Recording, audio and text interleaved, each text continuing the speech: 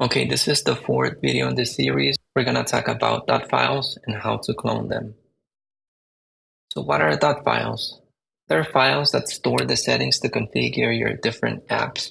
You usually keep them in a repo to reproduce the changes on many devices. So in my dot files, I keep settings for my applications like Alacritty, Tmux, Karabiner, Starship, and the rest of them. Let me show you real quick what I mean by this. I'm gonna open this in a new tab. Okay, so here are my dot files. Let me open this. So each one of the applications that I mentioned, Alacritty, has a configuration file, which is this one is for Alacritty. For Starship, for example, here's the configuration file. For Tmux, here's the file. For Vim, here's the vimrc file. Yabai, which is a window manager, and the ZSHRC file. We're gonna go over each one of these apps in the future videos. So if you don't know what they are, don't worry about it. We'll see them in detail in the next videos. Okay, so what are repos? It's just online storage, but for code. So you can store different projects there. It's like a Google Drive. If you don't, if you know nothing about this, you can think of it as a Google Drive, but for for code. So what's the importance of the ZSHRC file?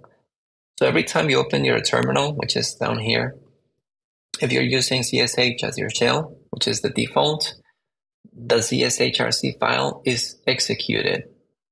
Also, every time that you source that file, you execute the file.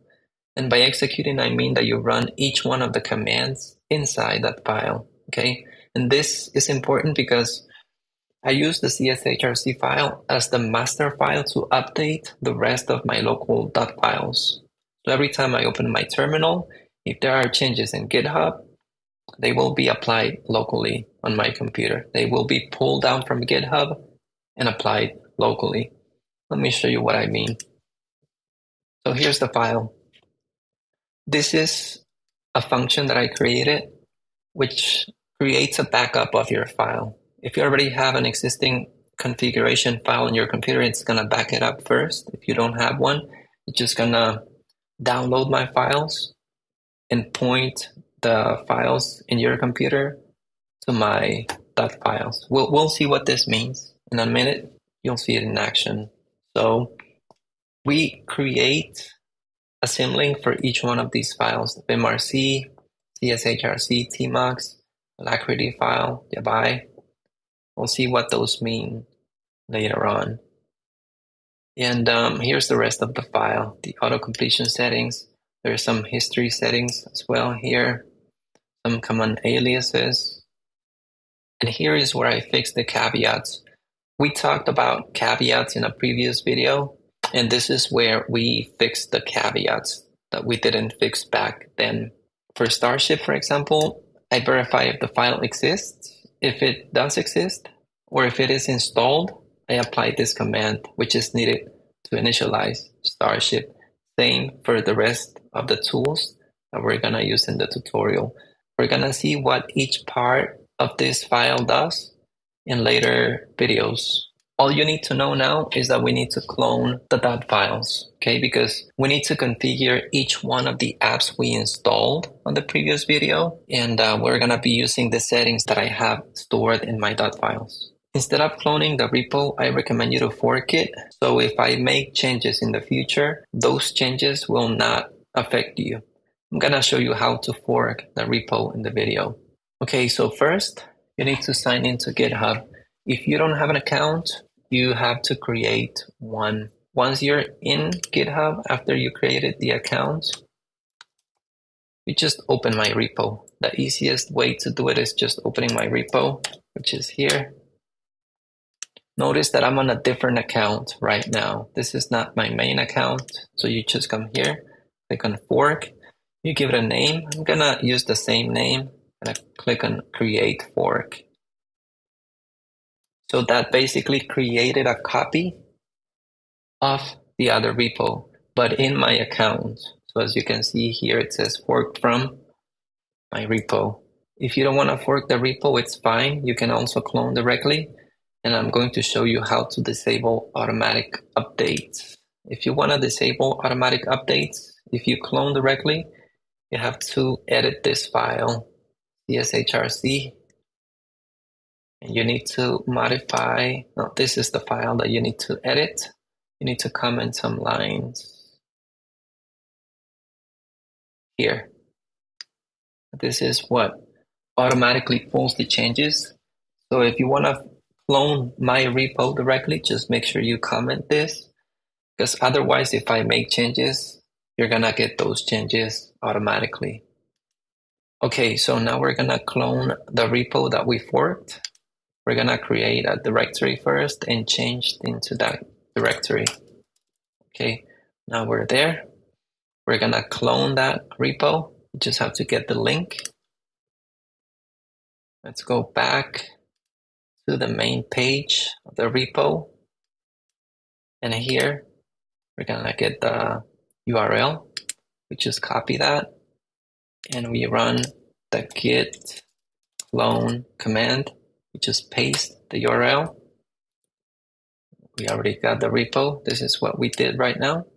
Now that we clone the repo, we're gonna create a backup of your ZSHRC file. If you don't have a ZSHRC file, nothing is gonna happen. But if you do have one, this is gonna create a backup of the file. Let's do that right now. Okay, let's look at that file. I'm gonna copy this. And here's the file. Here's the backup that we just created.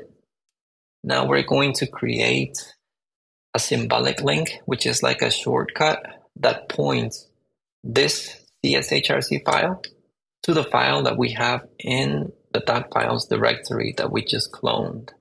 So let's do that.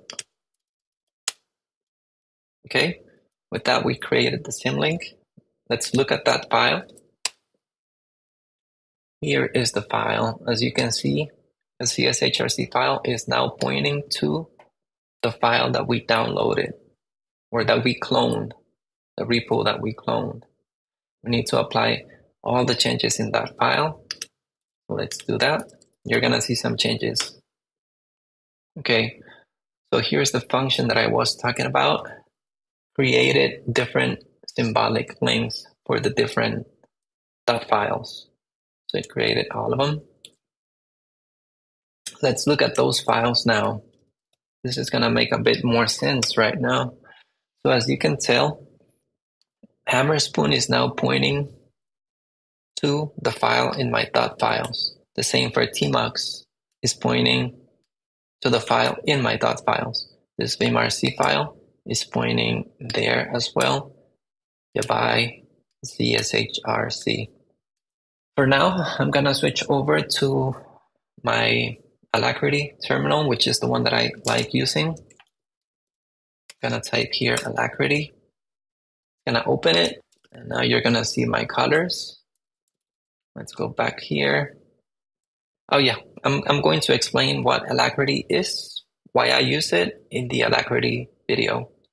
So remember, if you cloned my repo directly instead of forking it, just comment the auto update lines. Let me show you how to do that real quick. Go to github.files. I'm going to open NeoVim, which is my text editor.